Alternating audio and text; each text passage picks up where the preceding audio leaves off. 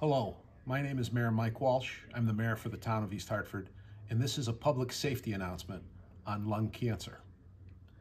Lung cancer is the deadliest cancer in the United States, but it doesn't have to be. Early detection through lung cancer screening can save your life. Lung cancer screening is painless, it's fast, and it is covered by most insurance.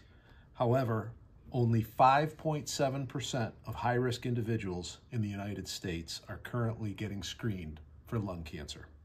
If you are between 50 and 80 years old and you've smoked a number of packs a year for many years, or you currently smoke or have quit in the past 15 years, you are eligible for lung cancer screenings. No one should have to suffer through lung cancer.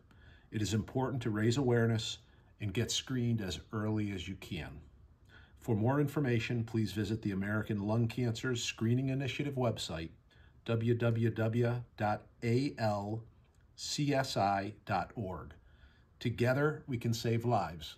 This public safety announcement was brought to you by Linda Chafee, a close friend of our family's who recently passed from lung cancer.